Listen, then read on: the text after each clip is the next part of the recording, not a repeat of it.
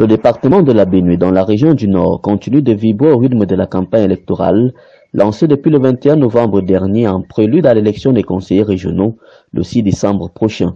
Après avoir tenu une opération de séduction des électeurs dans les communes de Garoua 1er, Garoua 2e et de Tourois, les différents candidats ont effectué ce lundi 30 novembre 2020 les descentes au niveau des communes de Dembo, Bachéo et Gachiga, toujours dans l'optique d'avoir le soutien total des 384 conseillers municipaux de la Benoué, sans distinction de partis politiques.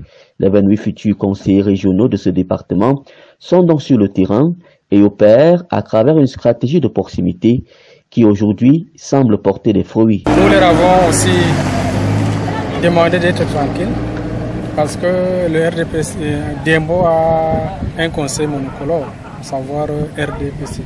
Nous avons 25 conseillers, bon 24 précisément, puisqu'il y a un de nos conseillers qui a choisi le collège de chefs traditionnels.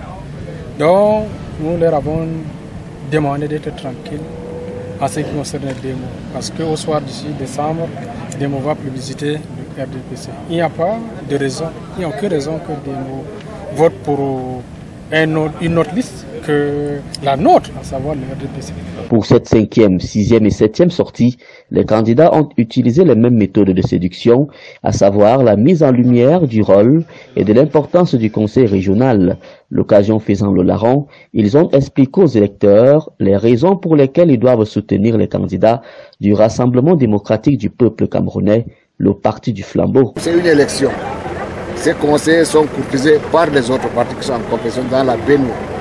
Alors nous sommes venus leur demander de réaffirmer la flamme, leur flamme pour leur DPC. Il ne faut pas qu'ils entendent les autres sirènes qui leur racontent des histoires que le RDPC ceci, le RDPC cela.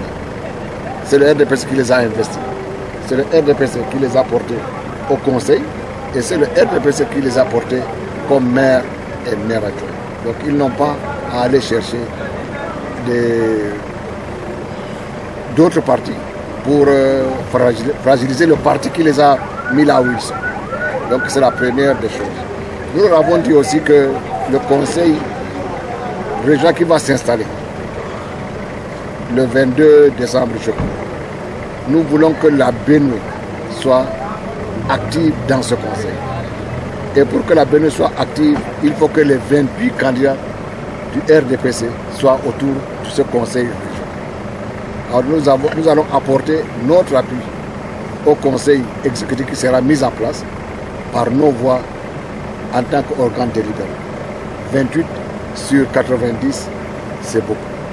Donc nous pensons que si, si nous arrivons à 28, nous pouvons influencer les projets au sein du conseil régional voilà ce que nous sommes Les conseillers municipaux qui constituent le collège électoral doivent donc savoir avant toute chose que l'arrivée des conseillers régionaux ne viendra pas créer la confusion dans les rôles. Il n'y aura pas de lien de subordination et les nouveaux arrivants ne vont pas empiéter dans les domaines de compétences des mairies. Entre les deux entités, il y aura une collaboration franche. Le gouvernement a d'ailleurs mis en place le principe de complémentarité, le principe de subsidiarité et de la compétence déléguée pour éviter quelconque conflit de compétences. Chacun aura donc sa partition à jouer dans le développement de la région. Pour que cela soit une réalité, les suffrages des conseillers municipaux sont plus qu'importants et attendus.